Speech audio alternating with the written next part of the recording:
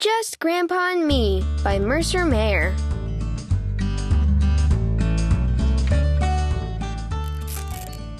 My mom said I need a new suit.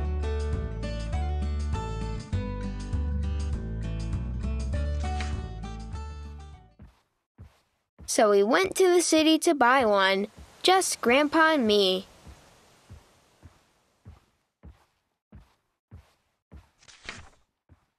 I bought the train tickets, but I let Grandpa pay.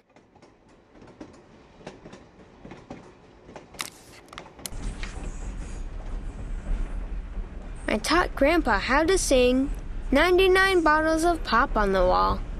99 bottles of pop on the wall, 99 bottles of pop. We went to the big department store. The revolving door went around and around and around. We went around too, just Grandpa and me.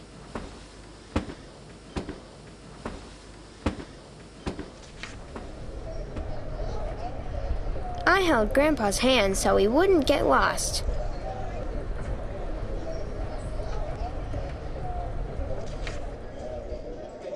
He did anyway.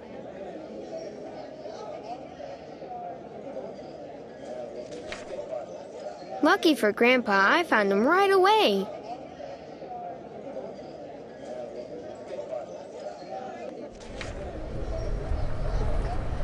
We took the escalator to the suit department.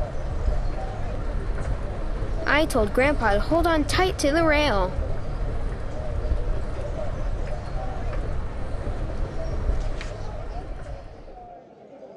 I looked at all the suits and found just the right one.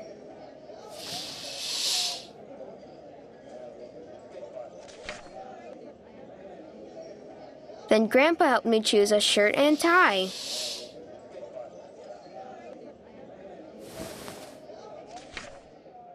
I put on my new suit and Grandpa said, You sure look great.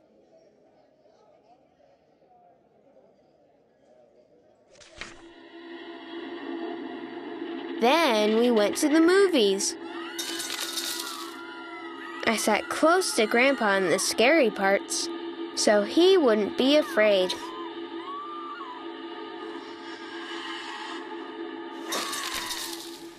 We had supper in a Chinese restaurant.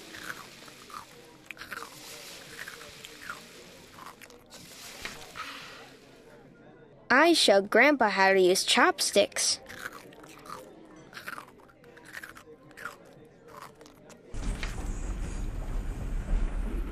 Then we got back on the train. Grandpa took a nap, but not me. I couldn't wait for Mom to see my new suit.